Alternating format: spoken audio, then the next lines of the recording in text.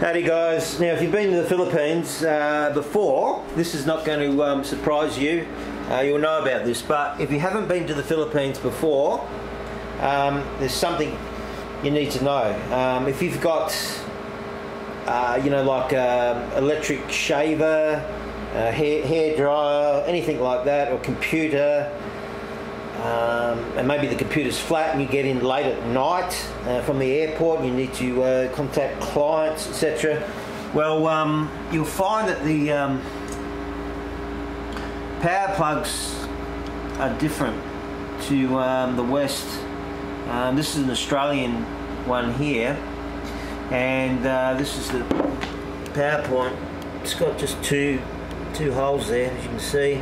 So you need one of these um, adapters. So um, they are normally uh, sold at uh, Robinsons and uh,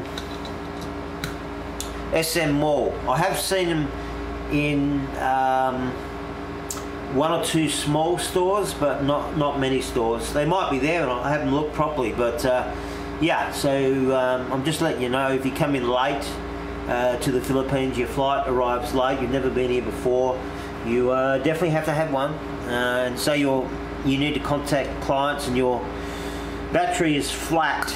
Um, well, you definitely um, need to charge it, um, your computer. That's what you need, one of those adapters. So uh, as I said, you can get them in the uh, electrical stores like CDR King and uh, other stores in Robinsons and uh, SM Mall and maybe some smaller stores.